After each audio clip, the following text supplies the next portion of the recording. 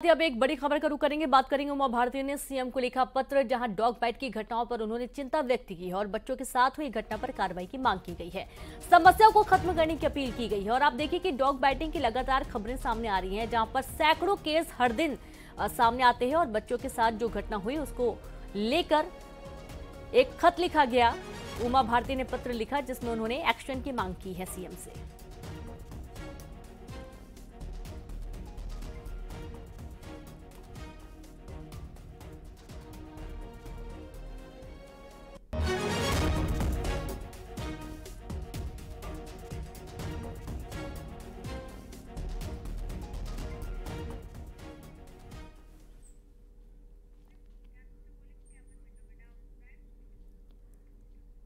और चलिए अब देखेंगे टॉप ट्वेंटी खबरें।